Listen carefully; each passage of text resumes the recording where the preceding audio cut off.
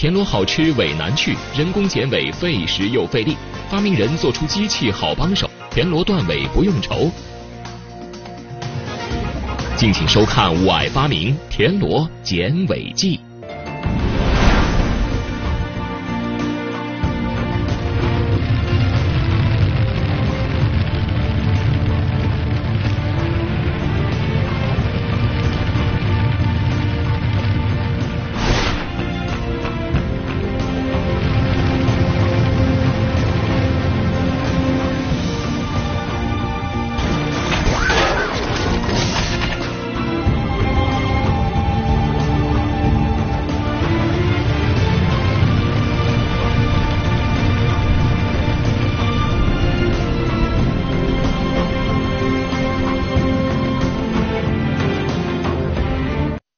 秋过后，在江浙一带的水田里、小溪旁，肉嫩多汁的田螺悄悄进入到它们最肥美的时候，成为餐桌上的一道不可或缺的美味。有一种嗦着吃炒田螺，很受欢迎，在湘浙、粤皖等地都有不同口味的做法。这种嗦螺在烹制之前，要将田螺去泥洗净，然后用剪丝钳剪去螺壳末梢，洗净下锅即可。这种方式处理的田螺不用牙签，只要一嘬，鲜美弹滑的螺肉就能立刻唤醒味蕾。可面对这样的美味，大多数人只能望螺兴叹，所以很多人只能去菜市场买已经去过尾的田螺回来烹煮。你好，观众朋友，欢迎收看新一期的《我爱发明》节目，我是主持人陆博。今天我们演播室请到的科学顾问是大家非常熟悉并喜爱的，来自北京师范大学的彭文华老师。彭老师，欢迎您。彭老师刚才看的那个小片儿啊，的确是太诱人了，田螺好好吃哦。你喜欢吃田螺吗？是我记得我很小的时候呢，自己到河里去捞，捞出来以后就煮一煮。嗯，刚才我们编导拍的片子多漂亮啊，田螺特别美，而且吃起来特别香。但是有一个问题，不知道您发现没有，就是捡田螺这事儿比较复杂。对这个田螺呢，你要吸着吃的话，对，它必须把后边那尾巴剪掉两个螺纹。嗯，哎，这你不能剪多了啊。嗯，那你要拿钳子剪，确实是很费劲儿。对，那为什么要剪两个呢？嗯，就是你剪多了以后，啊，你吸呢，可能这个肉就完全都吸到你嘴里，也包括后边的一些肠子。对，那肠子有的时候一吃到的时候没剪干净，哎呦，这个涩呀，它不是没剪干净，它是你搅多了，一下都吸进去了。嗯，但如果要是搅的比较少，恰到好处啊。少，比如说就搅了一个螺纹，嗯，这时候你吸着就会觉得非常费劲。嗯，刚好剪两圈的这个时候啊，你吸呢可以给它吸出来，但是后边的肠子呢还跟里边连着呢。哎，你吸出来那个肉，再咬一下，把那肠子留在壳里头。黄老师，你就是一个百科全书，什么您都知道。这个捡田螺这常识你也明白啊？呃，当然这个事儿确实是一个很辛苦的事儿。嗯。你想那个螺壳跟石头似的，对，我们要拿钳子去一个一个给它绞下来，嗯，确实很费劲。哎，说到这儿就说到我们今天的主题了。我们今天这个发明项目呢，就跟捡田螺的小尾巴有关系。究竟是怎样的一个发明项目呢？我们一起来了解和认识一下它。哎，各位。你们这是干嘛呢？我们在捡螺丝的。捡螺丝啊？哎这个螺丝不就是我们平常见的那个田螺吗？是吧？是的。那为什么要捡这个螺丝啊？我们捡来是为了吃吗？呃，那您是捡哪个部位呢？我们捡在这个地这一个部位。就是这个尾部是吧？这一个尾部最标准的啊，你就要捡这个地方部位。它有一。这数上来了，嗯，一个、两个，第二主主要要捡的这两个。第二圈是第二圈。啊，哎，那大姐，那您这一天能捡多少呀？一百来斤左右吧。一百来斤。嗯。那你算你们这这些工友里面快的吗？嗯，最快的速度是不是啊？就是最快的也就是一百斤。最快也就是一百多斤。嗯。您的意思一天顶多一个人也就能捡一百多斤是吧？嗯。哦。看似简单，其实做了有也有一点难的。那行，要不这样吧，我试一下，好不好？好的。我替您把您这么一堆，哎，我给您剪完，好不好？好的。你看看我这这个剪的怎么样？嗯。好吧。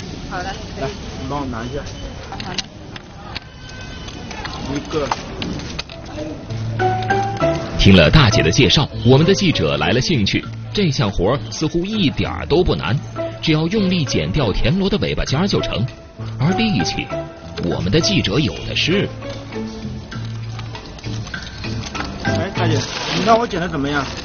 嗯，我看你剪嘛，有的个还是可以，还是很标准的。有的个嘛，又是太大了。太大了。嗯，这个孔太大了。这个孔太大。哎，这个孔太大。太大会有什么影响吗？你一吸，它只好这一半身上来了。啊，就是那个螺肉上来了，是吧？螺肉上来了。看来记者只学到皮毛，一剪子下去，分寸没把握好。哎，大姐，我捡了这么多，哎，虽然说数量不是很多，但是我在这儿蹲着捡的话。确实感觉到这个脚呢，已经有点开始麻了，已经开始有点酸了。嗯。像您这一天就一直是这么一个动作吗？是的，都是这样一个动作，都没有没有扯伸到哪里去。你你不是这个动作的话，跟不上速度的。跟不上速度啊。哎。不过我刚才剪了一下，体验一下，我觉得这个钳子有时候捏的多了的话，这个手也会酸。嗯。是吧？有的。嗯，好。但是这么总结下来，我觉得咱们这个活看似很简单，嗯，实则我觉得还是很辛苦的。那现在咱们没有这么一台机器来代替人工做这个事情吗？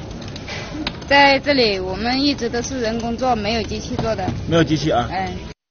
田螺个头小，数量多，捡田螺是个耐心活，一蹲就是半天，腿脚酸麻。有没有一种省时省力的方法来捡田螺呢？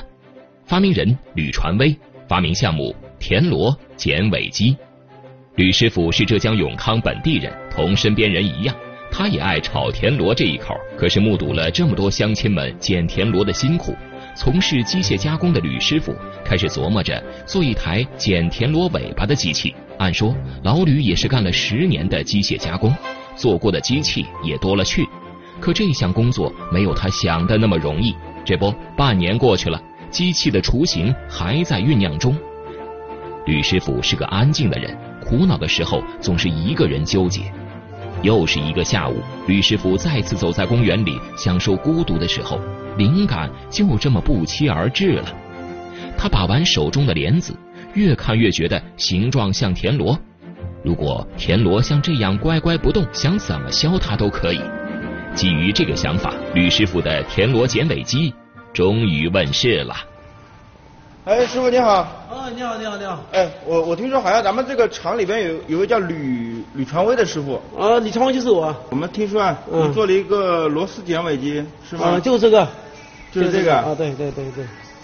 这机器我们。吕师傅的田螺剪尾机结构简单实用，通过摇动把手，经齿轮加速，使得滚筒转动起来，达到所需速度，将田螺从进料口倒入滚筒。在离心力的作用下，田螺紧贴筒壁，尖尖尾巴从孔眼钻出，并被下方旋转刀片切掉，完成剪尾工作。把螺丝倒进去，螺丝屁股呢掉出来。啊，螺丝从这儿进。对，从这进。进去之后呢，咱们在这个滚筒里面。滚筒里面这个这个里面大，有个锥度，五十五度五十五的锥度，这个螺丝屁股能掉出来。好，吕师傅，就是这个螺丝啊。嗯，是。哇，咱们来试一下吧，可以，好吧，可以，可以，嗯，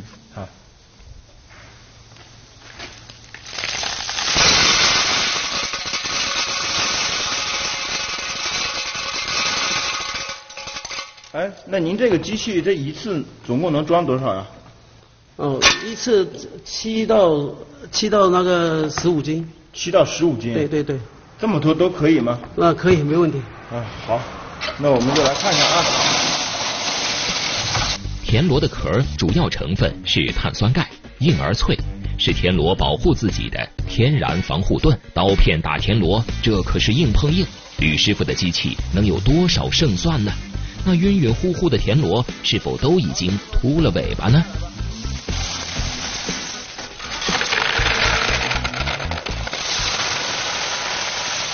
啊，什么边摇就是边出来了？哦，对，不摇它出不出不去。啊，这就是您刚才打的螺丝啊。对。咱们来看一看，基本都打出来了，对吧？哎，这个怎么有一个？哦，这个没打出来。这个没打出来。对对对。这是什么原因呢？哦，这个是有个别的。嗯。时间太短。时间再长一点点的话，它就能打出来。那像咱们这个打这个螺丝，这个机器要打多少时间才算合格呢？呃，两到三分钟。两到三分钟是吧？对。嗯，好。我刚才看您这么摇啊，感觉也是蛮简单的啊。嗯，是简单。我也想试一下。可以啊，可以啊，没问题啊。嗯。轻轻松松摇两三分钟，就将菜场大姐们头疼的活干完了。记者按捺不住，也想试试。哎，倒进去。啊，就这些是吗？对对对对对。啊，好嘞。那我就可以开始打了吧？现在。对对对，可以打。摇一下。行，来，你帮我拿一下。好的好的。记者想速战速决，仗着力气大，将滚筒摇得虎虎生风。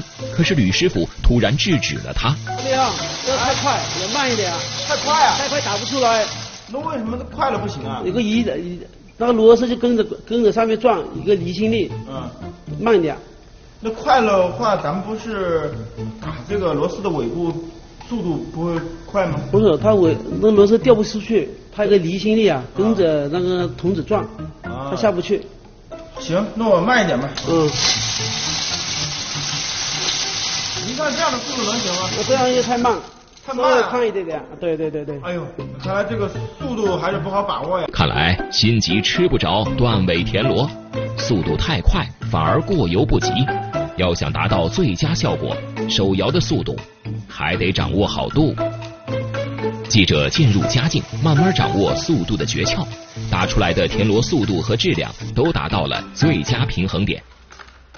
师傅，嗯，那您帮我看一下我这打的怎么样啊？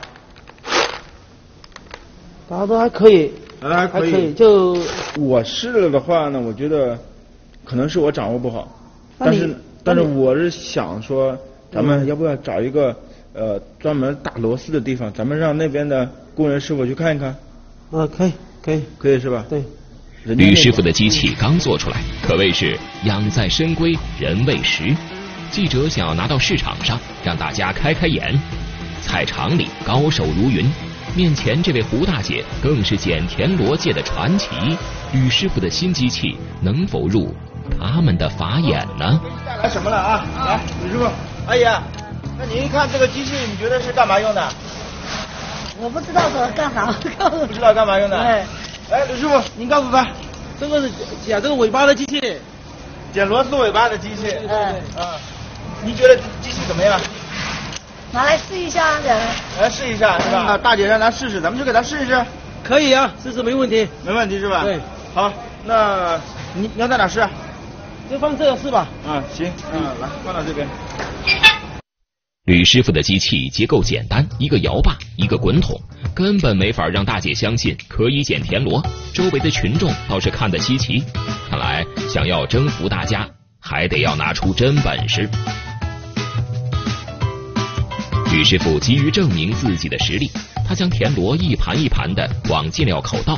我说吕师傅，你都不担心待会儿摇不动吗？那这个机器刚开始一下倒进去那么多，你觉得它能打得出来吗？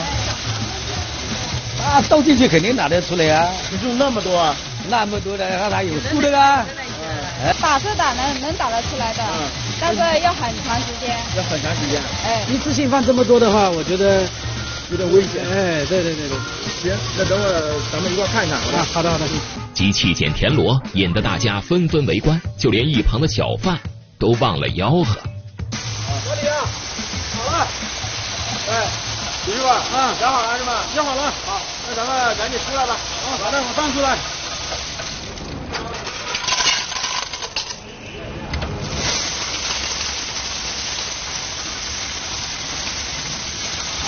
你都拿出来了是吧？嗯，拿出来了。好，那来拿到这边。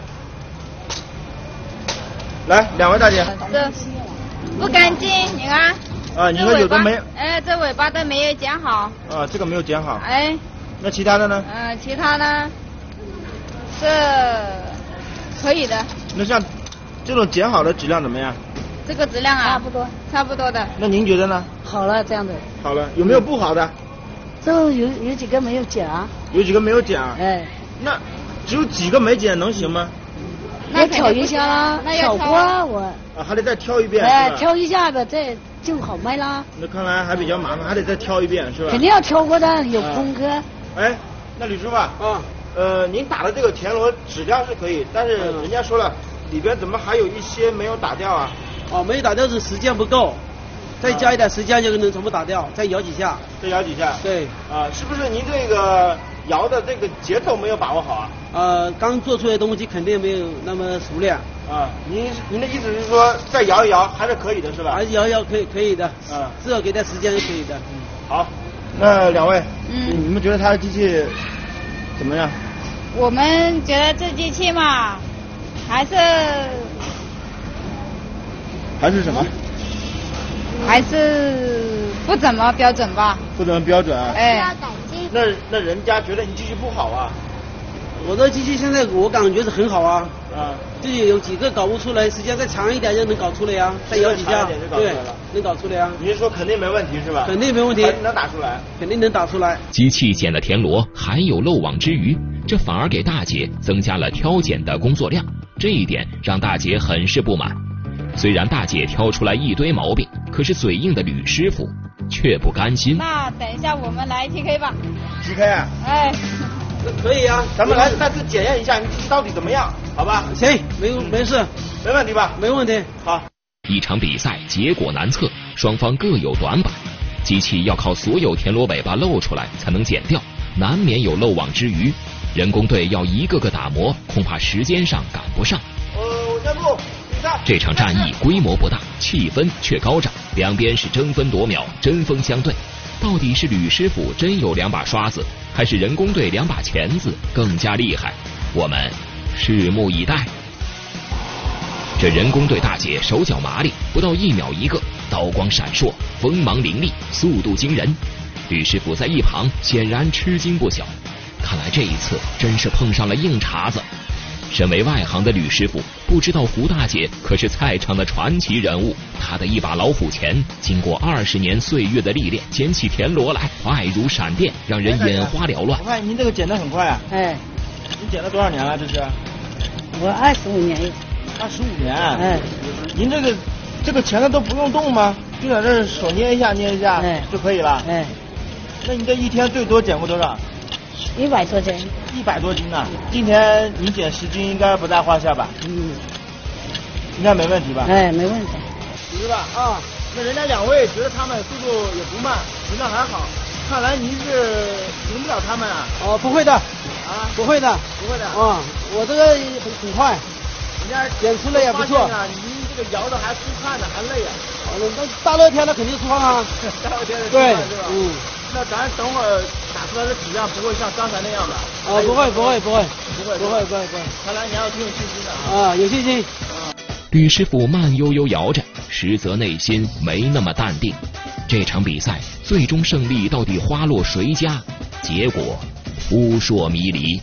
您看见咱们这个比赛，你觉得人工队和机械队哪方面优势更大一些？机器吧。为什么是机器呢？因为机器肯定要快一点啊！你觉得机器快啊？对啊。吕师傅这次卯足了劲儿，想要把田螺尾巴剪掉，而他的机器转速有限，离心力也有限，想要打得彻底，不能图快。相比之下，人工队就利索了很多。可是十斤重的田螺，靠人手一颗颗剪出来，也是需要时间的。到底谁能抢先完成任务呢？那结束了嗯！对。好了，吕师傅，嗯，那行，那您这边先结束了。哎，两位大姐，可以了，可以了。人家吕师傅已经喊结束了。哦，那来来来，咱们停下来。看着吕师傅像收割庄稼一样将田螺倾倒在筐里，大姐露出来羡慕的神色。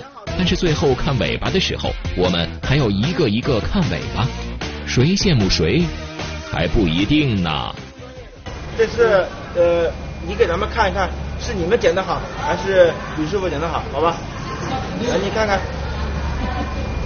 要不要先看看你们的？对，先看一下我们自己的吧。你们觉得自己剪的怎么样？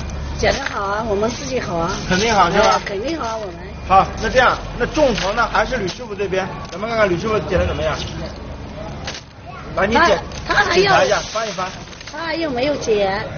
啊，你说这个没有剪掉，哎，这是一个，这个这个都。高手一出手就知有没有，胡大姐随手就挑出漏捡的大田螺。很少了吗？少是很少啊，但是四个你每一个这一盆你都要来挑啊。像我们捡的话，我们捡我们一个算一个，就很干净啦。空壳子我们也把它挑出来了。你看像这里老板的这还要费时间来挑一下，挑一下还要把这个空壳子也要取出来。啊。啊，如果我我们这个花没捡的干净。因为有的还是没捡到是吧？对，有些还没捡到。那大伙儿觉得他们这次比赛谁胜啊？人工队。人工队。对。哎。大哥，你为什么觉得人工队获胜啊？因为那个质量也也人工队好，然后他那个野些也没捡到的那个。因为人工队捡的干净。啊，捡的干净啊。因为他们剪的确实很快啊，而且很干净。如果那种机器的话，他们还要重新再挑选，那样太费时了。而且也费时，对啊，又费精力，然后估计他们挑选的时间，他们又可以剪出来另外时间了。行，是这样。好，哎，那吕师傅，嗯，那大家的眼睛是雪亮的啊，嗯嗯，一致判定是咱们人工队获胜。那我今后回去给一下吧，确实确实有几个没搞出来啊。吕师傅的机器减不了田螺里的大个子，没能赢得了人工队，也没有获得现场观众的青睐。比赛之后，黯然转身，踏上了漫长的改进之路。康老师在比赛当中，虽然这发明人吕师傅失败了，但是我们还要。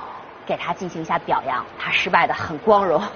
对，因为他这奇思妙想，我们看到用滚筒剪刀来剪田螺的尾巴，哎，这个创意真的挺了不起的啊。对，我们看他这个机器并不是很复杂，嗯，就是上边有一个筒子啊，下边有一个转动的刀。对。那么它是靠什么原理呢？呃，它那个筒子上边的打的孔。比较多，我在这儿呢找了一块铜板，哎呦，我在上边也打了一些孔了。嗯，现在我用橡皮泥做了一些田螺，你看看啊，简单的筒子和一把刀，它这么一转，下边刀呢一削，就完成了这个田螺尾部的。这个切削，这个确实是很巧妙的。嗯，花儿，我们不能回避这比赛结果呀。您看这个机器，虽然我们大家都夸它创意非常好，但是它还是输给了人工队，就是因为它没剪干净啊。对，它就是最后削下来以后。它的尾巴剪的有些剪掉了，有些没有剪掉，就造成这么一种它剪的不净的这么一个结果。那该怎么解决这个问题？我想这个问题呢，它应该是这样考虑的。嗯。一个呢，就是我们倒入这个田螺的量，嗯，你这必须得考虑，因为你量大了以后，它肯定出来的有这个尾部没有进入洞的，没有被削掉的。另外呢，我们说这个桶，它转动的。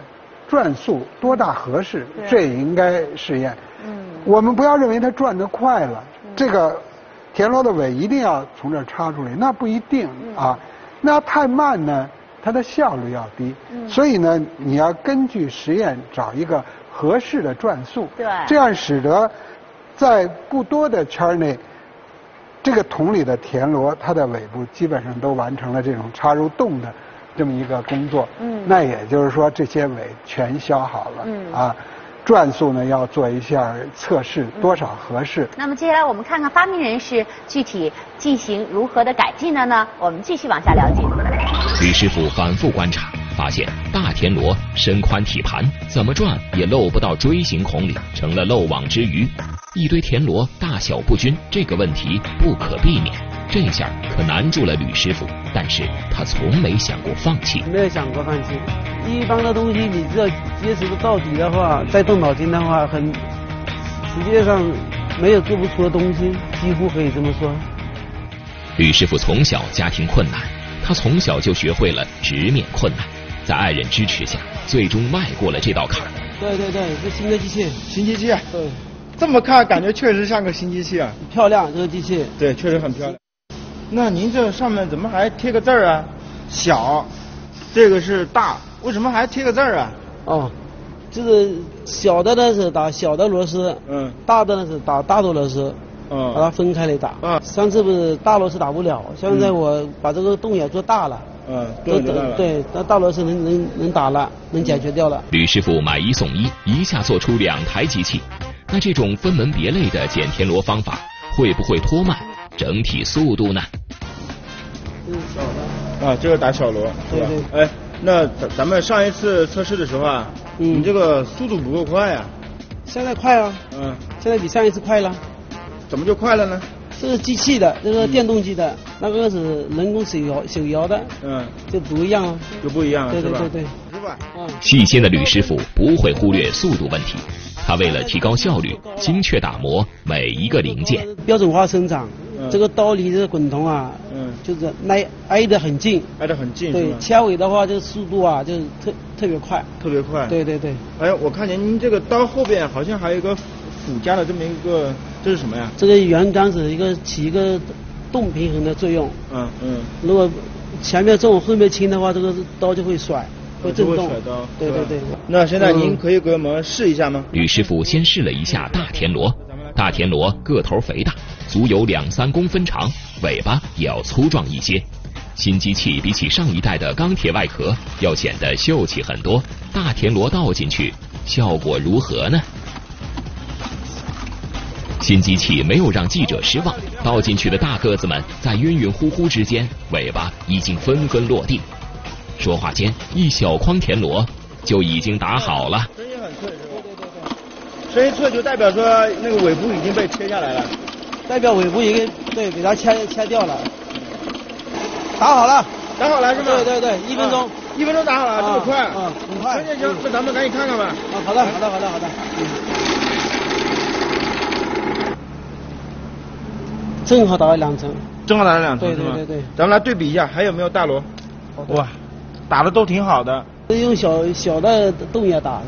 嗯，行，那咱们来试一下。上次因为部分大田螺捡不了而让机器铩羽而归，这一次机器攻克了大田螺，接下来就看机器捡小田螺的表现了。成功的机器必须做到大螺小螺一网打尽。开始。新机器的速度给了记者不小的惊喜。接下来轮到小螺上场了，机器能在速度上。再创佳绩嘛？小螺个子小，同等重量、数量能比大螺多出一倍多。同样的时间，机器能捡好一筐小螺吗？大螺和打小螺都是一分钟啊？一样一样。嗯，好。那现在时间还有多少？我看看。这个马上就要到了啊。嗯，现在就好了，好了。新机器表现不俗，在一分钟内也打好了一筐小螺。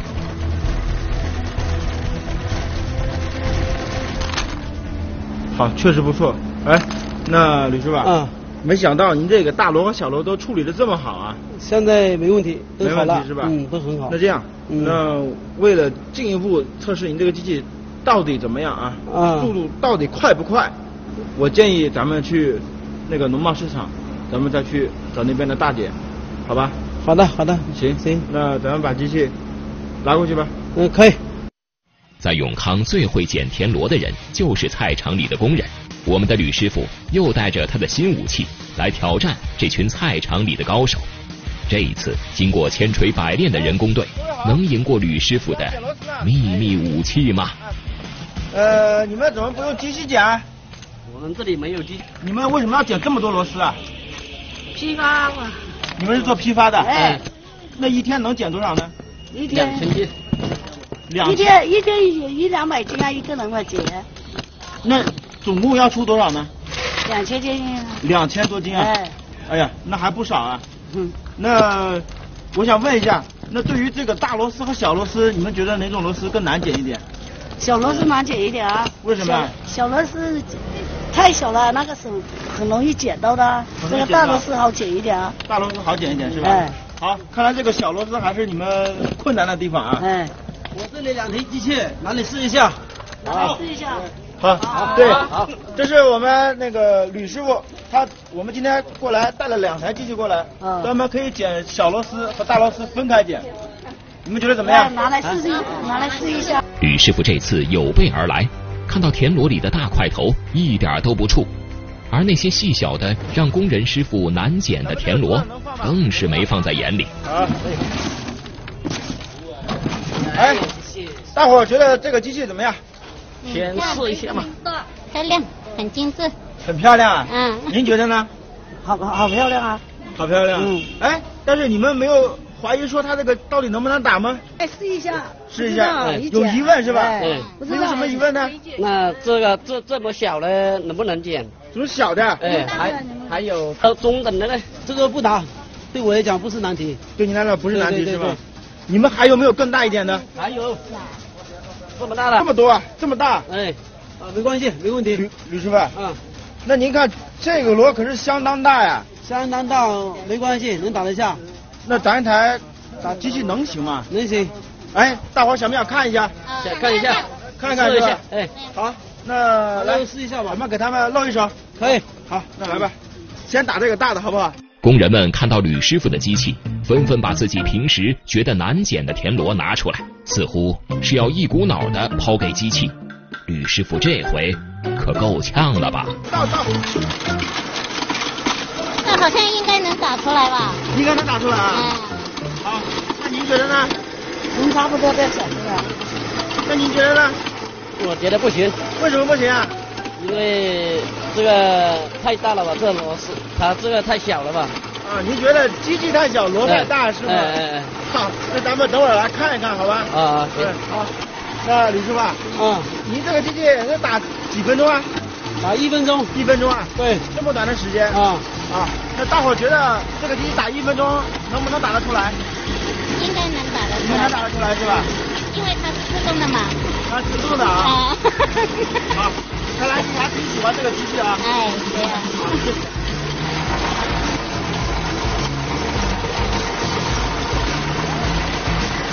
好，差不多还有十秒钟就好了。十秒钟？对。这么快啊？嗯。现在好了。好了，就这么快？对对对。行，那咱们来停机看一看，好吧？怎么样？打的怎么样？也还行。都打出来了。您您觉得怎么样？挺好的，挺好的，怎么就好了？啊，比比手工剪的均匀，就像这样。哦，这个就打得好是吗？嗯。那其他的呢？都差不多，都有没有打得不好的？那您觉得呢？您刚才可觉得他的机器不太行啊？嗯。现在你看一看。现在看一下也差不多。也差不多。哎哎哎。这样夹出来就可以吸出来嘛？啊，这样就可以吸出来了。嗯，好吸吗？夹得太大又不好吸的。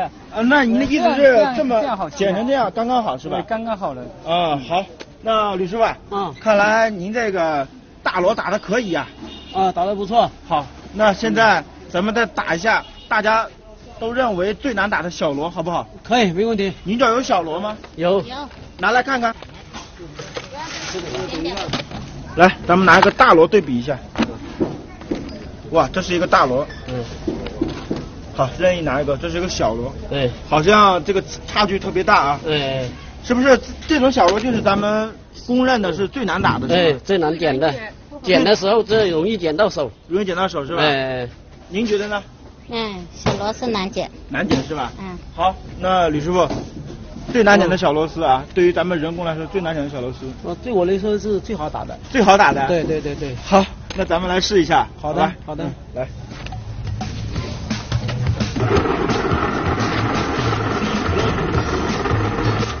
对于人工队敬而远之的小田螺，吕师傅竟然声称很擅长，到底是吹牛，还是真的有两把刷子呢？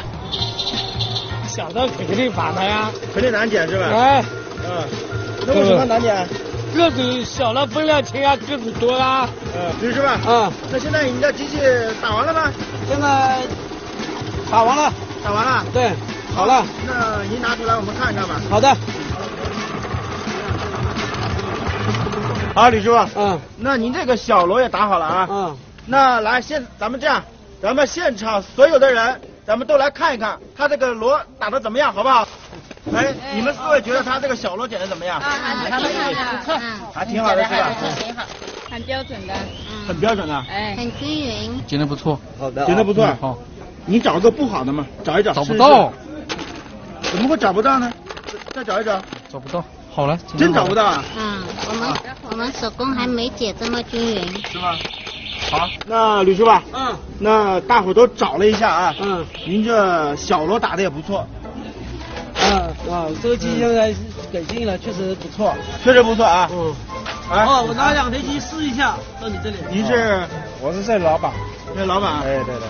那我们是这样，我们的吕师傅助理他两台机器，呃，过来给您试一下，能打大螺，能打小螺，行不行？我觉得还可以，觉得还可以。一次能打多少？啊，一次装两斤，一分钟打两斤，一分钟装两斤。呃，一分钟打两打两斤，一分钟打两斤，切为两斤。哦，好。那太少了吧？太少吗？太少了，我们批发那么点量怎么行？你一天能走多少量？我一天要两千多斤，两千多斤啊！哎，那我这机器你不好多买几台吗？这这不就花费大了吗？不怎么满意，这个只能饭店用用，只能饭店用，小量的地方用用。嗯，我说批发商的那个是不不行的。哦，看来您觉得它这个出产量还是还是太小了？太小太小。嗯，哎，那李师傅，嗯，那看来人家。还不满意你的机器啊？那确实，他这个批发批发一天两千多斤，确实太少，确实太少，是吧？对。那我觉得加大产量也是咱们一个改进的方向，您觉得呢？啊，要么回去，我再弄弄。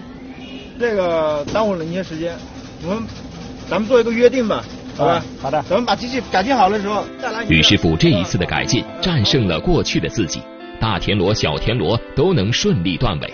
然而新的挑战。接踵而来，如何突破数量的瓶颈，使机器使用范围更广，成为他新的课题。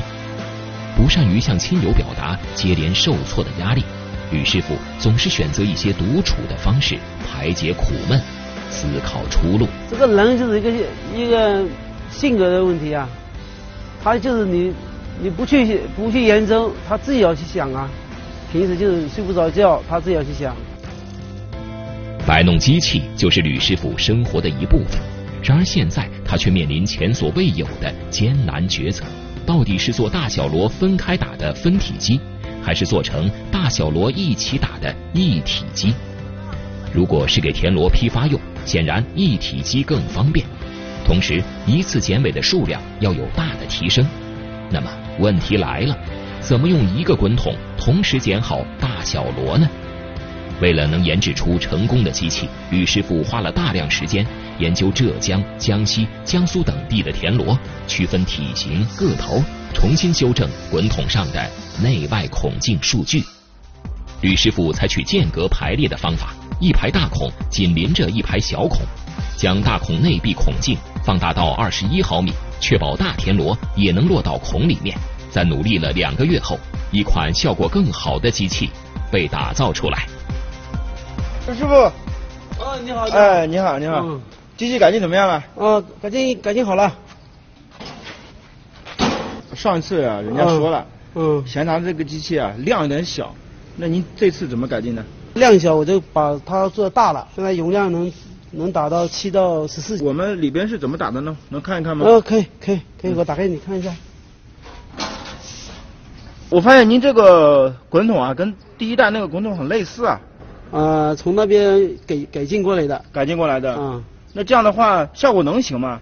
上次是一把刀，现在是两把的钨钢刀。呃，哪个？我们看一看。啊，这个就是这就是钨钢刀。呃，就这个两把是吧？啊，对对对。哦，加了一个水管。你为什么要加这个水管？加了水管能把这个螺丝清洗很干净。嗯，那既然您这么说来，那。李师傅，嗯，那您说您这个机器现在打得快了是吧？对。那现在是几分钟打呢？两两分钟打七到十四斤。七到十四斤是吧？对。那上一次可是一分钟打就打出来了。一分钟它是才两斤呀。嗯。这等于是一分钟等于七斤呀，那比它快得多吗？哎呦，确实快了不少。对对对对。那好，看来你有挺有信心的。您这儿还有螺丝吗？还有。有是吧？这一次性就到十三斤了。啊，对，对。我觉得你这机器现在有压力啊？没压力，没压力，对对对。好，那咱们来试一试，赶紧的。可以，啊，好，来吧。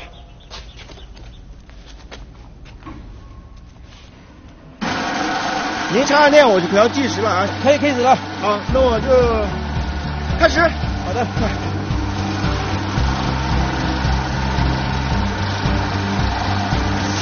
改进好的机器，体积变大了。胃口也变大了，十多斤的田螺一次性倒进去。这次大小不一的田螺能彻底断尾吗？而且之前的机器一分钟之内能处理一波，现在机器一口气能处理十来斤。这速度不会又下降了吧？记者保持着大胆怀疑、小心求证的态度。哎，李师傅，嗯，我问这边全是那个螺丝的尾巴呀？啊，对，这个能看出来吗？对对对，尾巴切下来的，打下来的，看了还挺多的啊。很多，不知道最后的效果怎么样？效果肯定很好，肯定很好，是吧？对对。哎，您您加的这个水能把这个螺丝给清洗干净吗？能清洗干净。咱们可以看了吧？现在啊，可以看。来，相信对新机器来说，最大的悬疑是能不能同时将大螺、小螺一起完美去尾。来吧，好的，看一看。哇，应该找不难找找不出来。哎，李师傅，嗯，我这翻了好多次啊，嗯，确实一个都没有，一个都没有。看来你这机器确实不错呀。经过吕师傅的努力，机器由原来的一次处理一两斤，到现在一次性能打十来斤，这进步可是不小。这样的速度是不是菜场老板想要的答案呢？吕师傅带着记者再次来到了菜场。两分钟可以减十四斤，比原先要快四倍了。不要吹大牛哦。啊，要不然试一下，你试一下。我这里正好有嘞，要不试一下？哎，老板，嗯，你这有几个人啊？我这里有八个人。八个人，哎，哎，吕师傅，啊，八个人，咱这机器能行吗？啊，能行，能行，十多个都行，十多个都行啊。对，老板，看来人家吕师傅觉得您这个，要不就给他试试吧，要不然给他试一下，试一下是吧？哎，对。提到比赛，双方一拍即合，吕师傅想要证明自己，菜场老板想要考验机器，这一战。谁都不会手软。那现在啊，依你们两位的要求，咱们来次比赛。哎，吕师傅，哎，你没看到人家人工队这个士气很高涨，您一个人能行吗？我一个人比他们还高涨。不会吧？我这我这个机器很快，速度很快是吗？啊，那要是一旦不行呢？一旦不行的话，我就把这鸡送给他们，嗯，请他们吃饭，请他们吃饭。对，大家怎么样？好，好，这他妈我们说定了。好，那这样。那看来两位，咱们这样，比赛到这会儿，咱们在在现场找一位裁判吧。啊，那请这个师傅。大哥，来，嗯，您贵姓？我姓胡。哎，胡师傅。嗯。呃，你好，您对这个螺丝了解吗？我对这个螺丝从小就经常跟他接触到。是吗？您是经常吃呢，还是经常捡呢？经常摸，经常吃，经常捡。您给我们说一下比赛规则吧。这一百斤螺丝，人工队跟机器队各五十斤一个。嗯，那怎么算赢啊？谁捡得好，嗯，谁捡得快，嗯，算赢。这样就结束了吗？然后我们各拿一盘到炒出来，谁的好好吸，嗯，吃起来味道觉得爽，嗯，那是谁这样才能算赢是吧？对。好，那老板，哎，您这边没问题吧？没问题。我们等会儿可是要吃的，啊，我们不怕，不怕是吧？好，那吕师傅您这儿呢？我这边更没问题，更没问题是吧？好，这次比赛很严格，裁判亲自下手称分重量，而这次比赛难度更是不小。比赛用的田螺都是中等偏小的个头，这种小田螺无论是人工还是机器，处理起来都费劲儿。到时候就看谁技高一筹了。二十五点零六。可以开始了吗？可以开始。您宣布比赛开始吧。比赛开始。好，开始吧。快快快快快！快！一听比赛开始，双方立马就位。人工队的抄钳子，机器队的开机器，双方人数悬殊，但是气势同样高涨。人工队这边一开场就抢占了先机，一筐田螺一撒下来，八个人八双手，剪子穿梭，刀光剪影，气势不凡。同人工队这边生猛的气势比起来，吕师傅这边的动静就小多了。一个人一点点将田螺往机器里面倒，速度真的能赶上人工队吗？一旁的记者看着都着急冒汗。那人工队人家那边挺快的，你这边能赶得上吗？啊，赶得上，赶得上。啊，对，肯定赶得上，没问题吧？没问题。那我觉得他这个机器怎么样？好，好啊，好的。你觉得哪里好啊？这个机器好啊。那人家人工队那边有好几个人呢。好几个人还是机器好啊，机器快啊。机器快啊。哎，对啊。还是这个剪得好一点。这个剪得好啊。对。好。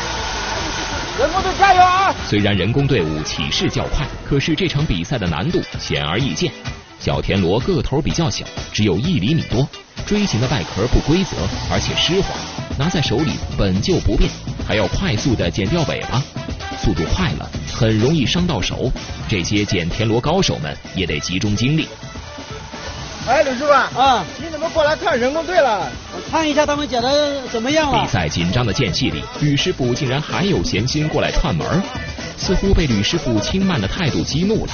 人工队加快了速度，手上的剪子舞得飞快，尤其是人工队的胡大姐，作为队伍里面的灵魂人物，捡起田螺犹如探囊取物，一手刀工简直出神入化了。就在吕师傅顶着压力比赛时。观众中悄悄出现一个熟悉的身影。哎，你哎，你怎么也过来看比赛来了？啊，我老公他说今天要过来试试一下这台机器，我担心他，我过来看。你还比较担心啊？啊啊，这情况那肯定是我们这个机器能赢的。嗯，能行是吧？嗯。有了爱人支持的吕师傅，对比赛更有了坚持下去的勇气。而人工队这边却迎来了体力透支后的速度下滑。太累啊！人工队员们撑到比赛结束已经相当不易了，很多人都累得握不动剪子了。而吕师傅有了爱人的支持，越战越勇，把剩下的田螺一股脑倒进机器，向着比赛胜利做了冲刺。好，裁判，那刚才吕师傅这边到了最后一筐。离比赛还剩两分钟，那您看人工队这边什么情况？人工队还没结束，还没结束啊，还是机器赢了。这边多不多？这是这边剩的还有估计有有很多很多，有七八斤，还有七八斤的样子啊。我这里结束了，你结束了是吧？对，好，裁判，我们赶紧让人工队停下来吧。停了，到时间，好，停吧，停吧啊。好。呃，人工队没有。没有，都都剪过的，解释啊，都剪过了。嗯，好，那咱们来看看机械队这边，机械队，你来看一看，是咱们吕师傅剪的，你看一看。剪的还可以，还可以啊。这个这个这个这个怎么这么干净呢？怎么这么干净啊？哎，它它干净还不好吗？对啊，就我们。洗的时候很简，就就就就简单多了。那他每个螺都捡到了吗？你仔细看一看啊，一定要仔细检查。对对，我看。往下边查一查。质量很好。质量很好啊。确实很好。好吧，那现在咱们质量也看了，您给咱们总结一下吧。速度方面，吕师傅胜。嗯。表面也是吕师傅的好一点，但是我们结果要看谁的好吃，谁的好吸。嗯，这样才算才算他最后的胜利。好，那吕师傅啊，那我们这次又要检验这个口感了。啊，没问题啊，没问题是吧？对，行，那咱们各拿一点，咱们去饭店去炒一下。好，走啊。好。好。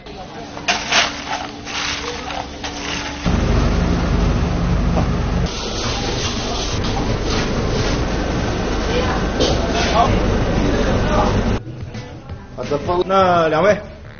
咱们让那边的顾客去尝一尝。嗯，好的，好，走吧。哎，师傅你好。哎，你好，你好。哎，呃，来尝尝我们的螺丝。好的，好的。哪个更好吸一点？好好好。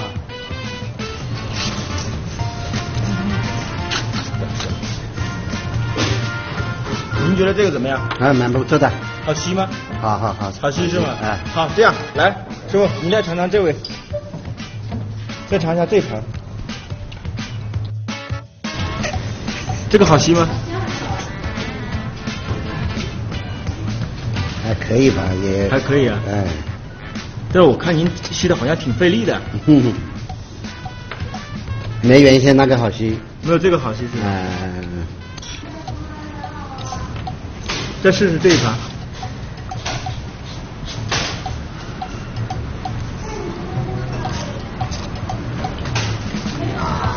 怎么样？吸不动啊！这个吸不动啊？哎，有那么难吸吗？啊，有一点。有一点是吧？啊。那用牙齿的脏。味道还好的。好吸吗？嗯。也不错啊。嗯。好。用这个。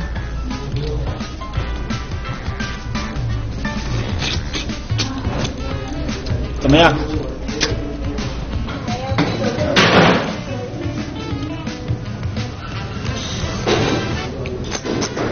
那裁判，那你也尝过了，那您给咱们点评一下这个比赛吧。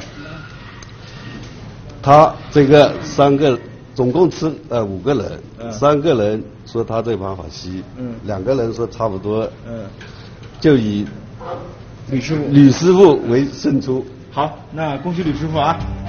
好。谢谢吕师傅发明的田螺剪尾机，运用简单的离心力的原理，配合滚筒内的锥形镂孔。将田螺尾巴露出并切掉，省去了过去田螺剪尾的繁重劳动，很受乡亲们欢迎。吕师傅发明的田螺去尾机结构简单，构思巧妙，达到了田螺去尾的目的。利用锥形孔和离心力的作用，综合实现了让旋转的田螺牢固的贴合在桶壁上，使得田螺去尾比较简单。那么如果要改进的话，可以更更好的去优化这个结构，使得田螺去尾的效率。会大大的提升，比如这个桶的长度以及桶倾斜的角度等，都可以做一些适当的调整。李师傅的机器是不负众望，最终在众多的高手比拼当中是获得了胜利。我们在这里向他表示祝贺。好的，观众朋友们，以上就是这一期我爱发明的全部内容。如果电视机前的您有什么好的发明和创意，可以和我们的栏目进行联系，登录我们的官方网站或者是新浪微博。在这里感谢我们的资深科学顾问彭梦华老师光临演播室进行精彩的点评，也感谢电视机前的您收看这一期的我爱发明节目。欢迎您继续锁定科教频道收看稍后其他的精彩节目。下期同样时间我们再见。他是自然界的神偷，狡猾机警；他是民间的捕鼠人，聪明勤劳。发明人明修栈道，推鼠板暗度陈仓，红外感应磁控开关。巧妙联动装置让老鼠有来无回，捕鼠器汪星人捉鼠大比拼，十面埋伏，耗子哪里逃？敬请收看《我爱发明》，捕鼠特工。